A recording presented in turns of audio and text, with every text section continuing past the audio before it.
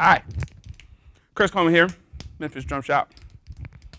Checking out the Byzance 10 inch traditional splash.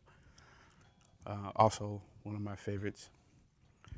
Again, very versatile. Um, cuts through. Now, this particular model really cuts through the 10 inch traditional. Um, used it on many different sessions. I mean, you can hear this thing sing in an arena. I was on tour with New Kids on the Block. Um, I mean, all the arenas, I would hit the splashes and I'm like, wow, you can actually hear them. so I'm really digging the tone. Um, even in the couple Latin bands that I play in, really cuts through. So check it out.